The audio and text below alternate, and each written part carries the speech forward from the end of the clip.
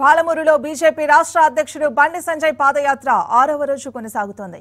పాదయాత్రలో బండి సంజయ్ రాష్ట్ర ప్రభుత్వంపై నిప్పులు చెరిగారు.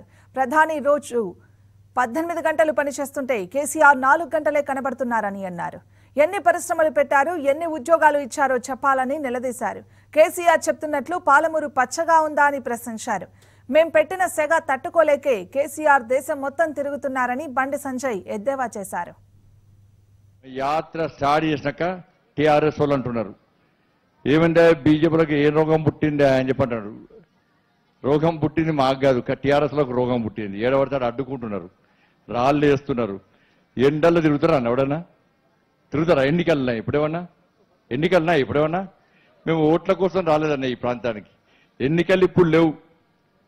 ఇలా కష్టాల్లో ప్రజలు ఉన్నారు కాబట్టి కష్టాల్లో ఉన్న ప్రజల కష్టాలు తెలుసుకోవడానికి మీకు భారతీయ జనతా పార్టీ అండగా ఉంటుందని చెప్పి మీకు భరోసా కల్పించడానికే ఎండలో యాత్ర చేస్తున్నాం. టీఆర్ఎస్ వాళ్ళు ఎప్పుడు యాత్ర చేస్తారంటే ఎన్నికల ముందు యాత్ర చేస్తారు. ఎన్నికల ముందు వంగి వంగి దండాలు పెడతారు. ఎన్నికల ముందు ఆచరణ సాధ్యం కానీ ఏమీ చేయలేని హామీలు ఇస్తారు. దొంగ లెటర్లు ఇస్తారు దొంగ పత్రాలు ఇస్తారు.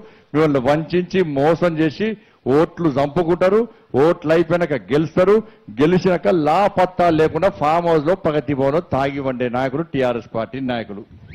దేశంలో నరేంద్ర మోడీ గారు ప్రధానమంత్రి. రోజు పద్దెనిమిది గంటలు పనిచేస్తున్నాక రోజు. నాలుగు గంటలే వండుకుంటాడు. మన సార్ కేసీఆర్ సార్ ఏం చేస్తాడు? నాలుగు గంటలే తెలుతుంటాడు పద్దెనిమిది గంటలు వంటాడు. ఆ నాలుగు గంటలు బయటికి రాడు. వచ్చిండు ఎప్పుడు నీడు నేను అంటున్నా మేమెందు మా యాత్రను ఎత్తికట్టుకుంటున్నాం కేసీఆర్ సార్? నువ్వు రా నువ్వు తిరిగి వద్దన్నా